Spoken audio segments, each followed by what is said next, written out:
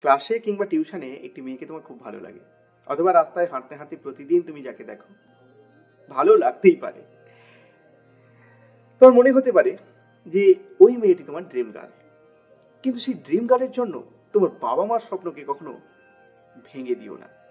হঠাৎ দেখা গেল তোমার সেই স্বপ্নের সেই মেয়েটির সঙ্গে তোমার প্রেমও হয়ে গেল।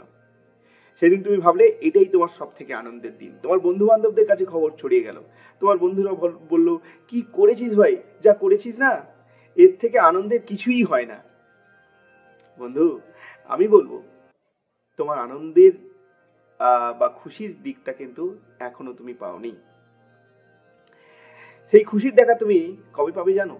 তুমি সেদিনই পাবে, যেদিন তুমি একটা ভালো কাজ করবে, চাকরি করবে। সেটা চাকরি হতে পারে কিংবা ব্যবসা হতে পারে। সেই ব্যবসার প্রথম মাইনেটা তোমার বাবা মায়ের হাতে দেবে। তখন তোমার নিজের অজান্তেই না চোখে জল চলে আসবে। ঠিক এই সময় হয়তো তোমার মনে পড়ে যাবে, একদিন যে মায়ের আঙুল ধরে তুমি হাঁটতে শিখেছিলে, সেই মায়ের হাতেই তুমি তোমার প্রথম ইনকাম দিয়েছ। আর যখন তুমি ইনকাম করতে শিখবে, তখন তুমি বুঝবে লক্ষ লক্ষ টাকার মূল্য স্কুলে যাওয়ার সময় মায়ের দেয়া এক টাকার মূল্যের থেকে না অনেক বেশি।